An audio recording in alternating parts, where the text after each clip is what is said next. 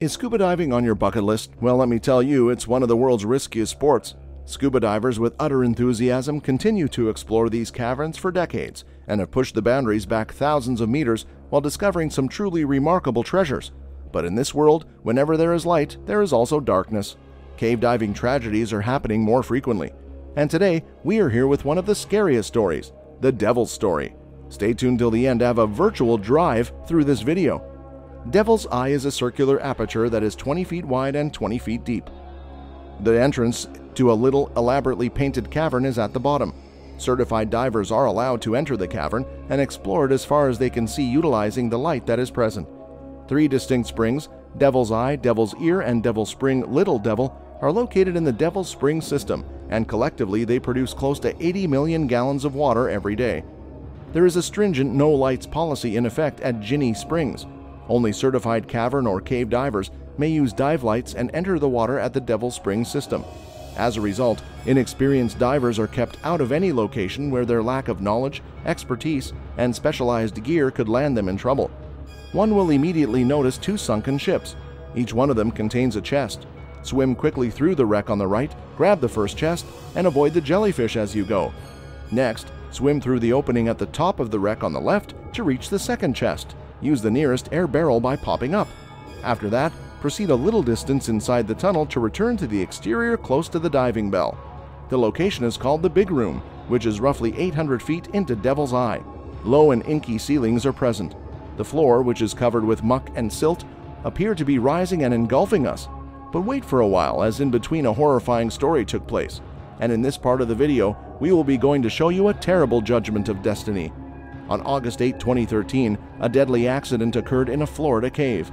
Caledon, Ontario native Carlos Fonseca was scuba diving in Florida's Ginnie Springs Devil's Eye Cave system. Mr. Fonseca had been diving for around four years and was side mount full cave trained as well as Trimix certified. He received the Wackala Award for leading secure cave dives. Through the eye in the Santa Fe River, the team reached the Devil Springs Cave system. They had traveled about 400 feet upstream and were halfway between the park bench and the Hill 400 when Mr. Fonseca started having a seizure and eventually passed out. At a depth of around 85 feet, the partial pressure of oxygen was about 3.6, which led to oxygen poisoning.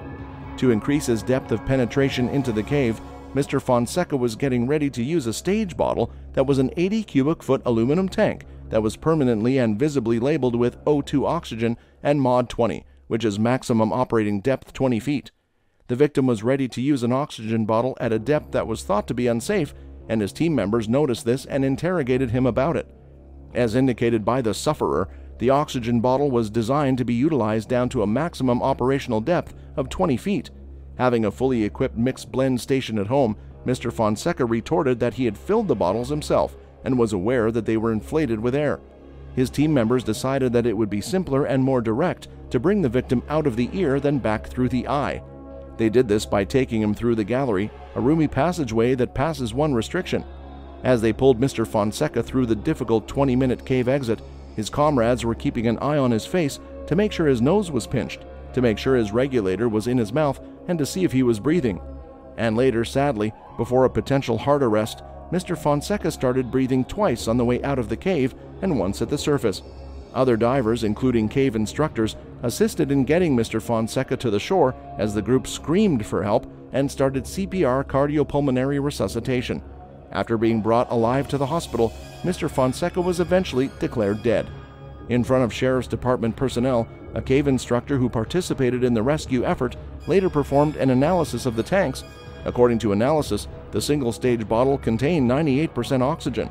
At the time of the seizure, at a depth of approximately 85 feet, the partial pressure of oxygen was around 3.5, which led to oxygen poisoning. An analysis determined that the double steel tanks on the back contained 30% oxygen. The report from the Gilchrist Country Medical Examiner has still not been made public, and the sheriff's office is remaining silent. Several witnesses, as well as Carlos's diving companions, speculated that Carlos may have breathed the incorrect gas combination. Pure oxygen is toxic below 6 meters, as you can see, Divers only breathe it when they are barely below the surface to reduce decompression times. Some speculate that Carlos might have accidentally chosen the wrong tank and breathed pure oxygen at depths of more than 20 meters. That triggered a seizure that ultimately led to his death. This brings us to the end of the video. Hit the like button and consider subscribing to the channel to show us your support. And don't forget to press the icon. See you at the next one. Until then, peace.